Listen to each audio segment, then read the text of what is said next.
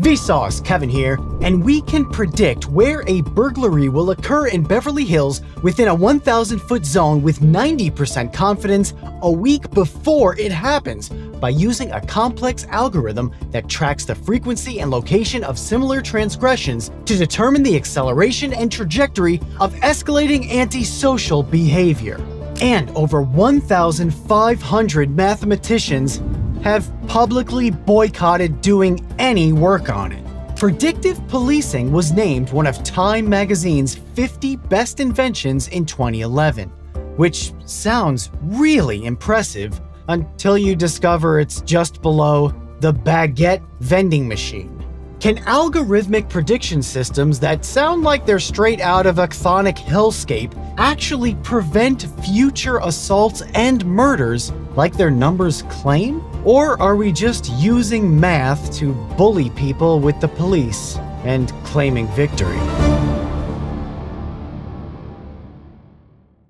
Ensuring public safety would be pretty easy if you knew that offenses against society were going to happen before they happened but it's such a fantastic proposition that its consequences and abuses have fueled dystopian stories from George Orwell, Philip K. Dick, and Isaac Asimov.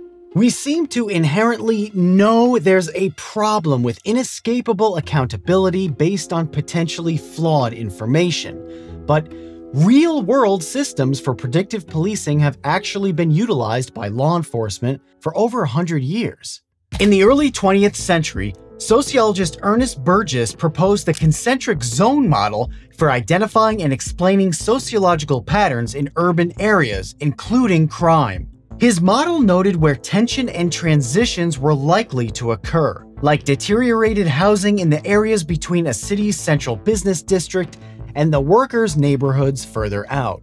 It culminated in social disorganization theory, which posits that people's actions result from their social relationships and their environments more than their own clear, rational decisions. Building upon generations of evolving sociological theories, we've added algorithms crunching complex data to stop crime before it occurs. And the results have been The Electronic Frontier Foundation defines predictive policing as the use of mathematical analytics by law enforcement to identify and deter potential criminal activity. We've got lots of data and increasingly sophisticated analytical tools, so why not put them to use? Here's how we put them to use. One group of researchers broke down the city of Chicago into small two block areas, then gathered historical data on violent crime, and property crime. By tracking changes in those patterns, essentially measuring the acceleration of crime types and their frequencies, they were able to predict where crime would occur, and they replicated their results in seven more cities. They describe it as tracking spatiotemporal point processes unfolding in social context. Okay? Chicago does have a well publicized crime problem, so this sounds like great news. Until you realize the Chicago PD's strategic suspect list of 398,684 names of people highly likely to commit gang related crime was composed of only 16% gang members. How good are your gang crime predictions gonna be when 84% of your suspects are not in gangs? What good is the algorithm if the data make no sense? What even are these tools? Well, one of them kinda works. PreCOBS is an abbreviation for Pre-Crime Observation System, and it was developed by the Institute for Pattern-Based Prediction Technique in Germany.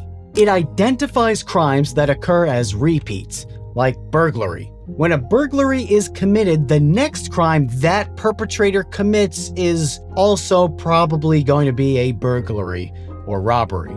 If there's a car theft, there's likely to be another car theft because someone out there is good at stealing cars and they're unlikely to switch to robbing banks.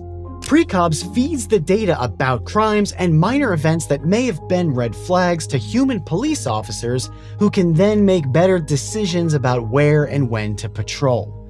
Using PreCOBS, Zurich police claim to reduce burglary by 30% in one year. And then there's Predpol.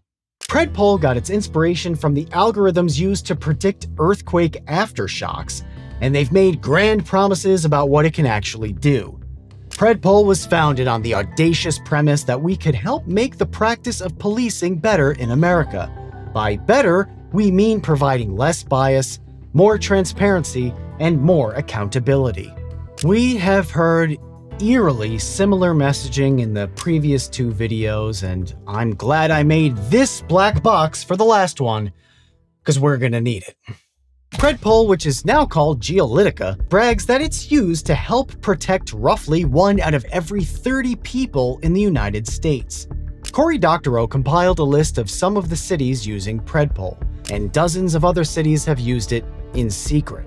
Predpol claims it can flag a 500 by 500 foot area and visualize its crime history to generate information for quick deployment of law enforcement resources. And they even publish the algorithm right on their website. Um, they do mention the algorithm's five components, but no one knows how it works, or more importantly, if it works. The LAPD had nearly a decade to figure that out, and couldn't. In 2019, the Los Angeles Police Department ended its use of Predpol for what they said was budget reasons, but they also were totally unable to evaluate its effectiveness over the whole time they used it. The LAPD combined Predpol with LASER, the Los Angeles Strategic Extraction and Restoration Program, to gather, analyze, and deploy as much data as possible to identify the places and people involved in crime. So, did it help? I don't know. Look, here's the big problem we know exists even without being able to access the inner workings of these algorithms. You can have very clear data and still get the wrong conclusion. World War II airplanes.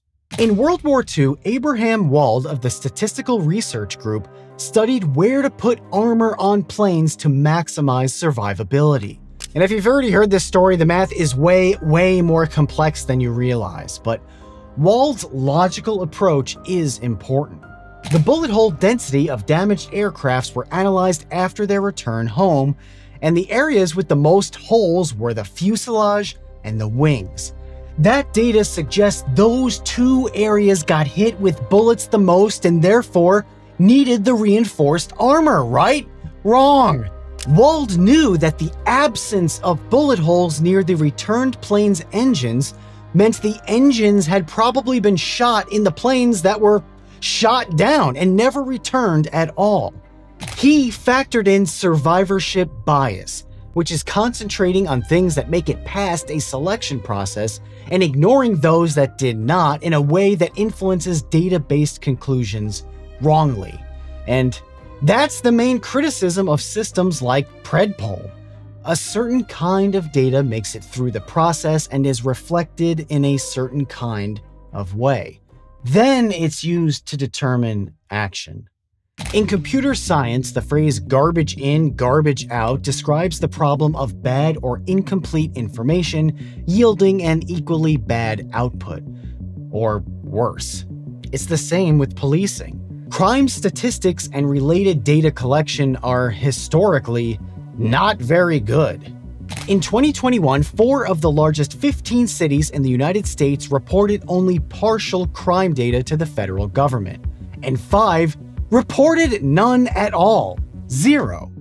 In three of the five largest states, under 2% of agencies reported their data. Was all of this just not ready? Did it even exist? Who knows? But bad data or the absence of critical data completely alters our understanding of a serious issue. The director of the ACLU Criminal Law Reform Project summarizes the issue. When you feed a predictive tool contaminated data, it will produce polluted predictions. It's prone to creating destructive feedback loops due to systemic social biases. Here's the loop. Want to see the loop? Here's the loop. If data goes into a predictive model that overrepresents a threat, then identifies relevant people and places to an outsized degree, which results in a stronger police presence fueled by a preconceived notion of the presence of crime, which results in increased police interactions. What do you think happens? And this is why the 1,500 plus mathematicians and researchers just weren't comfortable working on predictive policing projects. There's a growing understanding that, just like the initial read on the World War II plane data, these tools might have it all backwards. Instead of predicting crimes, they're actually predicting policing. Remember that amazing promise in the beginning about predicting urban crime with 90% accuracy within 1,000 feet? That same paper also revealed enforcement bias. So, even when the algorithm is right, we're left with trusting human beings to make sound, fair judgments based on the results, which is its own problem. The Hippocratic Oath is an ancient Greek medical text that makes physicians promise to uphold ethical standards and is commonly associated with the phrase, do no harm. The concept is to only prescribe beneficial treatments. Should our predictive crime methods adhere similarly to the Hippocratic Oath? Do the injustices caused by them outweigh the benefits? Can we even answer these questions when we can't measure the benefits to begin with? And how much harm do we put up with as we figure it all out? Do we just have to break a few human eggs to make the perfect algorithm omelet? Do you care if it's one big experiment on society? Does that change if it becomes one big experiment on you?